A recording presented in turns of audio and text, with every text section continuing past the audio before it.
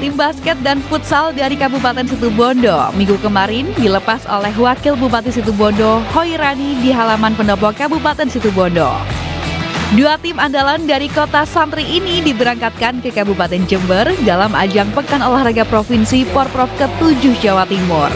Dalam arahannya di depan atlet, Wakil Bupati Situbondo meminta para atlet bisa membawa nama baik kabupaten dengan bermain sportif hingga meraih prestasi terbaik. Tim futsal Situbondo akan bersaing dengan 21 tim dari daerah lain. Situbondo berada di grup B dalam babak penyisihan. Sementara tim basket Situbondo hingga Senin kemarin masih menunggu pembagian grup. Di ajang Porprov ke-7, kontingen Situbondo diperkuat oleh 202 atlet yang berlaga di 26 cabang olahraga. Ani Nurkolis, CTV.